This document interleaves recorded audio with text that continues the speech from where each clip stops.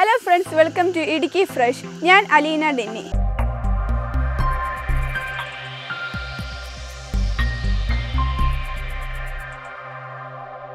ഇന്നത്തെ വീഡിയോയിൽ നമ്മൾ എങ്ങനെ മികച്ച വിത്ത് തിരഞ്ഞെടുക്കാമെന്ന് കണ്ടു. ഇന്നത്തെ ഈ വീഡിയോയിൽ എങ്ങനെ വിത്ത് മുളപ്പിച്ച് പാകാമെന്നാണ് കാണുന്നത്.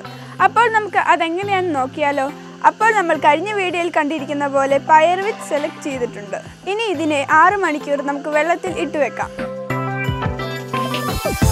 ഇപ്പോൾ ഏകദേശം ആറ് മണിക്കൂർ ആയിട്ടുണ്ട് ഇനി നമ്മുടെ വിത്തിനെ നമുക്ക് വെള്ളത്തിൽ നിന്ന് എടുക്കാം.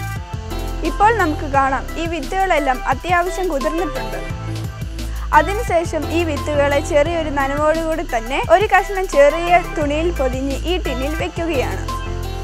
ഇതെന്തിനാന്ന് വെച്ചാൽ ഈ ഒരു നനവ് ടിന്നിൽ നിന്ന് ആ ഒരു ഈർപ്പത്തിൽ മുള പൊട്ടാനാണ്.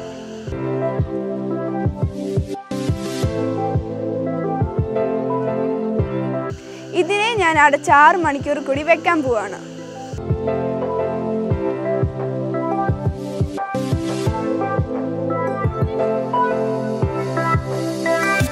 ഇപ്പോൾ നനഞ്ഞ വിത്ത് എടുത്തു വെച്ചിട്ട് ഏകദേശം ആറ് മണിക്കൂർ ആയിട്ടുണ്ട് ഇതിനെ നമുക്ക് തുറന്നു നോക്കാം.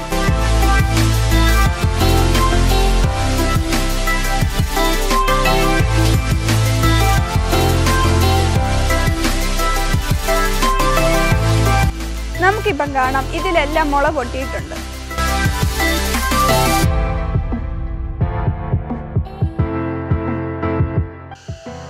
ഇനി നമുക്ക് ഇതിനെ ഓരോ ചെറിയ പേപ്പർ ഗ്ലാസ്സിൽ നടാം. അതിനായി ഞാൻ ഇന്ന് ഇവിടെ എടുത്തിരിക്കുന്നത് മണ്ണും ചാണകപ്പൊടി മിക്സ് ചെയ്തതാണ്. ഗ്ലാസ്സിൽ ഏകദേശം മുക്കാലോളം ഈ മിക്സ് ഫിൽ ചെയ്യുക.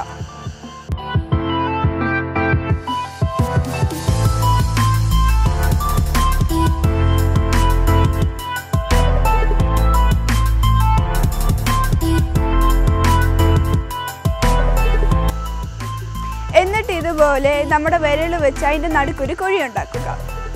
നമ്മുടെ വിത്തിന്റെ മുളച്ച ഭാഗം അടിയിൽ വരുന്നത് പോലെ വെച്ചിട്ട് അതിനെ മൂടാം.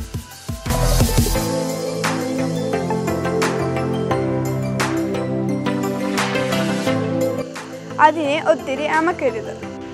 അതുപോലെ തന്നെ ഒരു ഗ്ലാസ്സിൽ രണ്ട് വിത്തി കൂടുതൽ പാടില്ല. ഇനി നമുക്ക് ഇതിനെ ഒന്ന് ചെറുതായി നനച്ചു വിടണം. അതിനായി ഞാൻ ഇവിടെ ഒരു കുപ്പി എടുത്തിട്ടുണ്ട്. കുപ്പിയുടെ അടപ്പിൽ ചെറിയ ഹോളുകളിട്ട് ഒരു ഡ്രോപ്പ് സിസ്റ്റം ഉണ്ടാക്കി അതിനെ നനച്ചു കൊടുക്കാം നമ്മൾ അല്ലാതെ വെള്ളം നനച്ചാൽ അത് ചിലപ്പോൾ മണ്ണ് നഷ്ടപ്പെടാൻ കാരണമാകും. വിത്തുകളെല്ലാം ദിവസവും ഒരു നേരം നനച്ചു കൊടുക്കണം.